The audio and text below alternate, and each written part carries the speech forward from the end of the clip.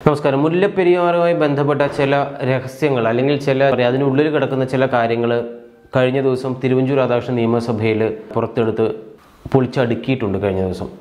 അതായത് മുല്ലപ്പെരിയാറുമായി ബന്ധപ്പെട്ട് നിലവിലുള്ള നിയമം നിലനിൽക്കില്ല എന്ന് ഇതുവരെയും ഇപ്പോഴുള്ള സർക്കാർ സുപ്രീം കോടതിയിൽ ബോധ്യപ്പെടുത്താൻ കഴിഞ്ഞിട്ടില്ല അല്ലെങ്കിൽ അവർ തയ്യാറായിട്ടില്ല എന്ന കുറ്റപ്പെടുത്തലാണ് തിരുവഞ്ചൂർ രാധാകൃഷ്ണൻ കഴിഞ്ഞ ദിവസം നിയമസഭയിൽ ഉയർത്തിയത്.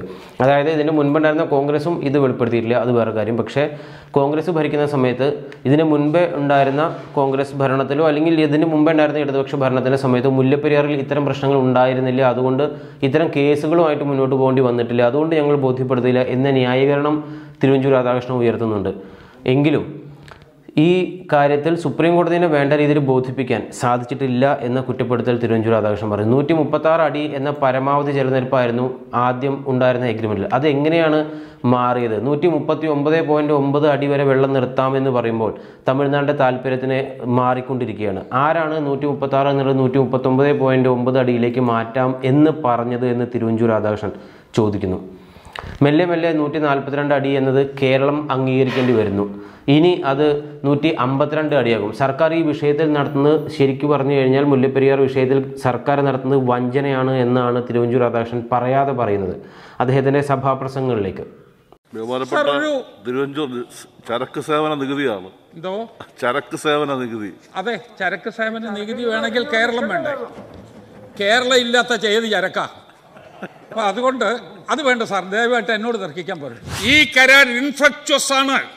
ഇത് നിലനിൽക്കുന്നതല്ല എന്ന് അങ്ങ് എന്നെ പറഞ്ഞ് ബോധ്യപ്പെടുത്തുന്നതിന് ശ്രമിച്ച ഈ സമയം വരെ അത് സുപ്രീം കോടതിയുടെ മുമ്പിൽ പറഞ്ഞിട്ടില്ല. എന്ത് വിട്ടുവീഴ്ചയുണ്ടായി? കയ്യിലിരുന്നതും പോയി കടിച്ചതും പോയി പിടിച്ചതും പോയി. രണ്ടും നമുക്ക് നഷ്ടപ്പെട്ടു. കയ്യിലിരുന്ന നെയ്യാറിലെ വെള്ളം കൊടുക്കാമെന്ന് പറഞ്ഞോ നമുക്ക് കിട്ടേണ്ടിയിരുന്ന മുല്ലപ്പെരിയാറിലെ വെള്ളത്തിന്റെ കാര്യത്തിൽ അവർ വിട്ടുവീഴ്ച കാണിച്ചുമില്ല. സർ. ഞാനിതിൽ പറഞ്ഞ സാമ്പത്തിക കാര്യങ്ങളെക്കുറിച്ചുള്ള കാര്യങ്ങൾ ആവർത്തിക്കുന്നില്ല. അതെന്റെ കൂടി അഭിപ്രായമായി രേഖപ്പെടുത്തുന്നു. സാർ ഇവിടെ നമ്മുടെ കടത്തെക്കുറിച്ച് ഞാൻ വീണ്ടും പറയുന്നില്ല. അങ്ങേക്ക് വളരെ കൃത്യമായിട്ടറിയാം. അങ്ങ് സത്യം പറഞ്ഞാൽ ഈ ഈറൻ ഉടുക്കേണ്ടി വന്ന ഒരു വ്യക്തി എന്നുള്ള നിലയിലാണ് അങ്ങ് ഇതിന് മറുപടി പറയേണ്ടി വരിക. ഞാനതുകൊണ്ട് ഇന്നത്തെ കട സാർ ഇപ്പോൾ ശ്രീ ബാബു പറഞ്ഞു നിർ നിർത്തിയിടത്തുനിന്ന് ഞാൻ റൈഡർ ചേർക്കുകയാണ്. സാർ മുല്ലപ്പെരിയാർ ഡാം രണ്ടായിരത്തി ആറിൽ മുല്ലപ്പെരിയാർ ഡാമിൽ ഇതുപോലൊരു സിറ്റുവേഷൻ ഉണ്ടായിക്കഴിഞ്ഞപ്പോൾ അന്നത്തെ പ്രതിപക്ഷ നേതാവ് ശ്രീ അച്യുതാനന്ദൻ അദ്ദേഹം പറഞ്ഞു വെല്ലുവിളിച്ചു ഗവൺമെന്റ് കൂടെ വരണമെന്ന് പറഞ്ഞു ഞങ്ങൾ കൂടി. ഞാൻ വാട്ടർ റിസോഴ്സസിന്റെ ചാർജുള്ള മന്ത്രിയായിരുന്നു. ഞങ്ങൾ അന്നത്തെ പ്രതിപക്ഷ നേതാവ് ശ്രീ വി എസിനെ കൂടെ കൂട്ടി ഞങ്ങൾ മുല്ലപ്പെരിയാറിൽ പോയി. ഞങ്ങൾ അതെല്ലാം അദ്ദേഹത്തെ കൂടി- കണ്ട് ബോധ്യപ്പെടുത്തി.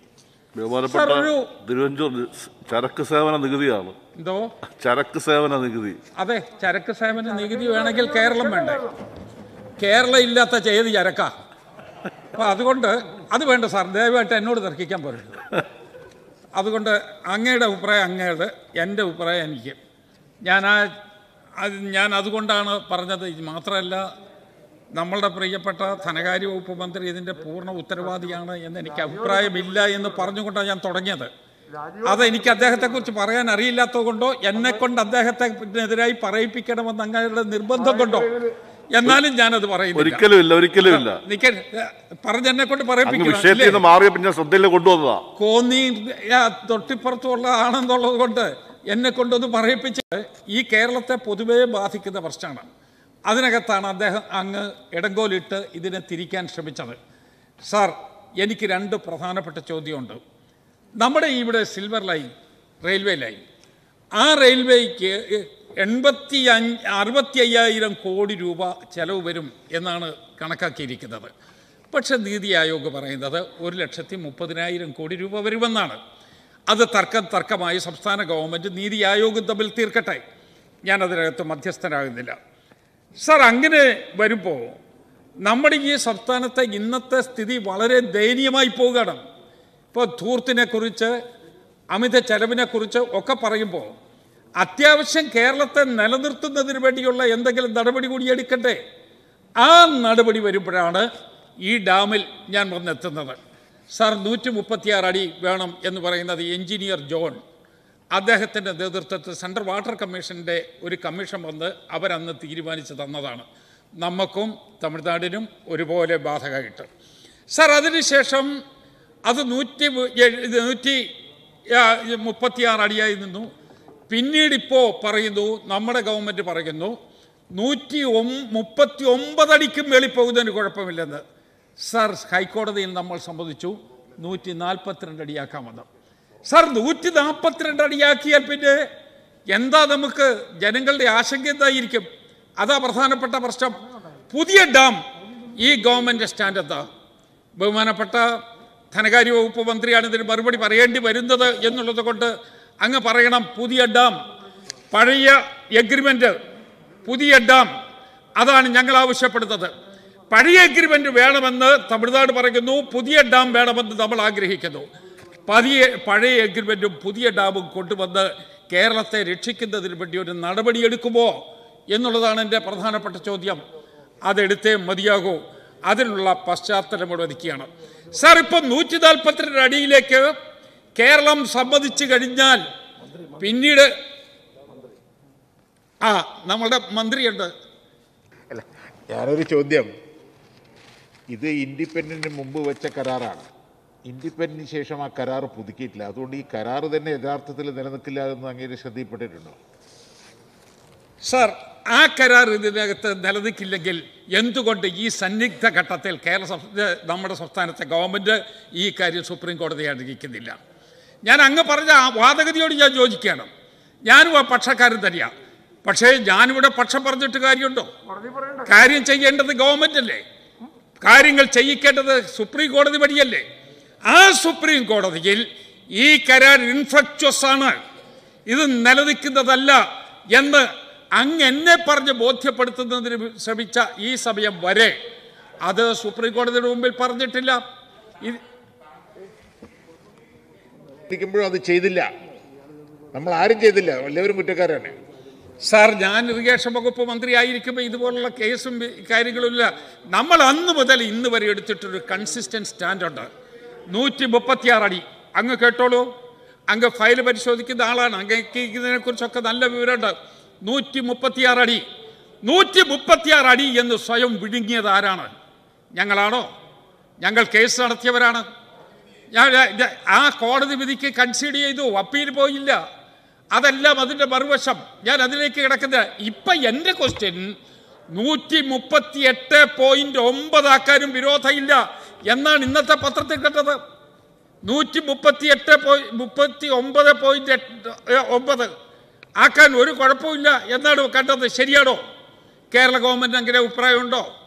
ആ അഭിപ്രായം ചെന്ന് അവസാനിക്കുന്നത് ഈ നൂറ്റി മുപ്പത്തൊമ്പത് അടിയിലാണോ? നൂറ്റി നാൽപ്പത്തിരണ്ട് അടിക്കകത്ത് എത്തേണ്ടി വരും അത്. അല്ലാതെ കാര്യങ്ങൾ തീരുകയില്ല. സാർ നൂറ്റി നാൽപ്പത്തിരണ്ട് അടി മാത്രമല്ല സുപ്രീം കോടതി വിധിക്കകത്ത് പറയുന്നത് നൂറ്റി അമ്പത്തിരണ്ട് അടിയാണ്. സാർ ഇവിടെ വന്ന് നിങ്ങൾ വിട്ടുവീഴ്ച കാണിക്കും തോറും നൂറ്റി അമ്പത്തിരണ്ട് അടിയിലേക്ക് സാവകാശം അടുത്തുകൊണ്ടിരിക്കുകയാണ്. സാർ നമ്മുടെ ഈ കേരളത്തിൽ നിലനിൽക്കുന്ന ഒരു നിയമമില്ലേ? ഒരു സംസ്ഥാനത്തെ വാട്ടർ കോഴ്സിനകത്ത് നമ്മളുടെ ലെജിസ്ലേച്ചർ അറിയാതെ മറ്റൊരു സംസ്ഥാനത്തേക്ക് വെള്ളം ഒഴുക്കി കൊടുക്കരുത് എന്നൊരു നിയമം ഇവിടെ നിൽക്കുന്നത് അങ്ങേക്കറിയില്ലേ? ആ നിയമത്തിന്റെ അടിസ്ഥാനത്തിൽ നെയ്യാറിലെ ഡാം നമുക്ക് ഡാമിലെ വെള്ളം കൊടുക്കാൻ പറ്റുമോ? അങ്ങ് അന്തെതിർത്തതാണ് എനിക്കറിയാം. അന്നങ്ങ് ആത്മാർത്ഥമായി എതിർത്തതാണ്. രാമനാഥപുരത്തേക്ക് കൊടുത്തു. കൊടുക്കാൻ തീരുമാനമെടുത്തു. തീരുമാനമെടുത്തു എന്ന് മാത്രമല്ല കേരളത്തിലൊരു നിയമം നിലനിൽക്കുമ്പോൾ ആ നിയമത്തെ ലംഘിച്ചുകൊണ്ട് ലെജിസ്ലേച്ചറിനെ പോലും അറിയിക്ക അറിയിക്കാതെ രായ്ക്ക് രാമാനം നെയ്യാറിലെ വെള്ളം രാമനാഥപുരത്ത് ഒഴുക്കി കൊടുക്കുന്നതിന് വേണ്ടി നമ്മൾ തീരുമാനമെടുത്തു. അതിന് അന്ന് പറഞ്ഞ മറുപടി എന്തെന്നറിയുമോ? മുല്ലപ്പെരിയാറിന്റെ കാര്യ- കാര്യത്തിൽ കുറെ വിട്ടുവീഴ്ച കിട്ടും എന്നുള്ള പ്രതീക്ഷയോട് കൂടിയാണ് എന്നാണ്. എന്നിട്ട് എന്ത് വിട്ടുവീഴ്ചയുണ്ടായി? എന്ത് വിട്ടുവീഴ്ചയുണ്ടായി? കയ്യിലിരുന്നതും പോയി കടിച്ചതും പോയി പിടിച്ചതും പോയി. രണ്ടും നമുക്ക് നഷ്ടപ്പെട്ടു. കയ്യിലിരുന്ന നെയ്യാറിലെ വെള്ളം കൊടുക്കാമെന്നും പറഞ്ഞു. നമുക്ക് കിട്ടേണ്ടിയിരുന്ന മുല്ലപ്പെരിയാറിലെ വെള്ളത്തിന്റെ കാര്യത്തിൽ അവർ വിട്ടുവീഴ്ച കാണിച്ചുമില്ല. അങ്ങ് ചോദിച്ചോളൂ. തമിഴ്നാട് മുഖ്യമന്ത്രിയുമായി ഈ വിഷയം ചർച്ച ചെയ്യാമെന്ന് സമ്മതിച്ചിട്ടുണ്ടല്ലോ. അത് വലിയ കാര്യമല്ലേ? തമിഴ്നാട് മുഖ്യമന്ത്രിയുമായി ചർച്ച ചെയ്യാമെന്ന് സമ്മതിച്ചിട്ടുണ്ട് തമിഴ്നാട് മുഖ്യമന്ത്രി ഈ വിഷയത്തിനെ കുറിച്ച് ഒരു തദ്ദേശ ഭരണ തിരഞ്ഞെടുപ്പ് നടക്കുന്ന സമയത്ത് നമ്മൾ താങ്കൾ ബഹുമാനപ്പെട്ട അങ്ങ് സൂചിപ്പിച്ച വെള്ളം വീണ്ടും വെള്ളം വിട്ടുകൊടുക്കാൻ തീരുമാനിക്കുമ്പോൾ അതൊരു ഡിപ്ലോമാറ്റിക് സ്റ്റേറ്റ്സ്മാൻഷിപ്പാണ് അതിന്റെ ഗുണം നമുക്ക് കിട്ടാൻ പോവുകയാണ് എന്നാണ് ഈ സഭയെ അന്ന് സർക്കാർ അറിയി- അറിയിച്ചിരുന്നു എന്നുള്ള കാര്യം അങ്ങയുടെ ശ്രദ്ധയപ്പെട്ടു സാർ ഇപ്പോഴത്തെ പ്രശ്നം കേക്കോ. സാർ ഡിപ്ലോമാറ്റിക് ഫൂളിഷ്നെസ് ആണ് നമ്മൾ നടത്തിയത് എന്നുള്ളതല്ലേ ഇപ്പൊ തെളിച്ചുകൊണ്ടിരിക്കുന്നത്. അതാണല്ലോ ഡിപ്ലോമാറ്റിക് ഫൂളിഷ്നെസ് ആണ്. കേരളത്തെ വഞ്ചിച്ചതാണ്. കേരളത്തിലെ ജനങ്ങളോട് നിങ്ങൾ മാപ്പ് പറഞ്ഞാലും തീരാത്ത വിധത്തിൽ ഒരു ഇറിപ്പറബിൾ ലോസ് ഈ സംസ്ഥാനത്തുണ്ടാക്കിയതാണ്. ഒരിക്കലും ചെയ്യരുതാത്തതായിരുന്നു. അങ്ങായിരുന്നു അന്നെങ്കിൽ അങ്ങ് ചെയ്യുകയില്ലെന്ന് എനിക്കറിയാം. കാരണം അങ്ങയ്ക്ക് ഇതിനെക്കുറിച്ചുള്ള കാഴ്ചപ്പാടുകൾ ഞാൻ മാധ്യമങ്ങളിലൂടെ വായിച്ച് മനസ്സിലാക്കിയിട്ടുള്ളതാണ്. അങ്ങ് അന്ന് പറഞ്ഞ കാര്യങ്ങൾ ഇന്ന് നടപ്പാക്കിയാൽ മാത്രം മതി. പ്രശ്നം അവസാനിക്കും. പക്ഷേ ദയനീയമല്ലേ സാർ? വളരെ ദയനീയമല്ലേ? നമ്മുടെ സംസ്ഥാനത്തിന്റെ പൊതു താല്പര്യം തകർത്ത് കളഞ്ഞു. അതാണ് ഞങ്ങളുടെ ഏറ്റവും പ്രധാനപ്പെട്ട പ്രശ്നം. അവിടെ പോയി സാറേ ഈ ചർച്ചയിൽ ചട്ടം തൊണ്ണൂറ്റിരണ്ട് അനുസരിച്ചിട്ട് ഈ ബില്ലിന്റെ പരിധിക്കുള്ളിൽ സംസാരിക്കണമെന്നാണ് ചട്ടം പറയുന്നത്. പക്ഷെ അങ്ങ് പൊതു ചർച്ചയാണ് ഇപ്പോൾ നടത്തിക്കൊണ്ടിരിക്കുന്നത്. അത് സ്പീക്കറുടെ ശ്രദ്ധയിൽപ്പെടുത്തുകയാണ് അപ്പം ഞാൻ ചോദിക്കട്ടെ അതൊക്കെ പൊതുചർച്ചയിലോട്ട് വരാം. ഈ മുല്ലപ്പെരിയാർ ഇഷ്യൂവിനകത്ത് കേരള ഗവൺമെന്റ് എടുത്ത നിലപാട് ഇപ്പോൾ തമിഴ്നാടിന്റെ നിലപാടിനോട് യോജിക്കുന്ന കാര്യത്തിൽ അങ്ങും ചോദിച്ചു നിൽക്കുകയാണോ കറുത്ത ഷർട്ടിട്ട് വന്നപ്പോഴേ എനിക്ക് വിവരം മനസ്സിലായി. കേരളത്തിന്റെ ഒരു ദുഃഖമായിട്ട് അങ്ങൊരു പൊട്ട് പോലെ അവിടെ ഇരിക്കുകയാണ്. സാർ ഇവിടെ പ്രധാനപ്പെട്ട പ്രശ്നം എന്താ? ഇവിടെ ഇത്രയും ദുഃഖകരമായ ഒരു കാര്യം ഈ സർക്കാർ ഒരുമിച്ച് നിന്ന് പ്രതിഷേധിക്കേണ്ട കാര്യം ശ്രീ കെ ബാബു പറഞ്ഞല്ലോ ചങ്കല പിടിച്ചല്ലോ. ചങ്ങല ഞങ്ങൾ പിടിക്കാമായിരുന്നു ഒരു കുഴപ്പമില്ല പക്ഷേ കേരളത്തെ രക്ഷപ്പെടുത്തണ്ടേ സാർ? കേരളം എവിടെ പോയി നിൽക്കുന്നു? ഇനി ഞാൻ എന്റെ പ്രധാനപ്പെട്ട അടുത്ത പോയിന്റിലോട്ട് വരാം. സാർ കേരളം കടക്കടിയിൽ മുങ്ങി കുളിച്ചുകൊണ്ടിരിക്കുകയാണ്. കടക്കടിയിൽ നിന്ന് രക്ഷപ്പെടാൻ പറ്റാത്ത വിധത്തിൽ ഒരു കിനാവള്ളി നമ്മളെ പിടിച്ചിരിക്കുകയാണ്.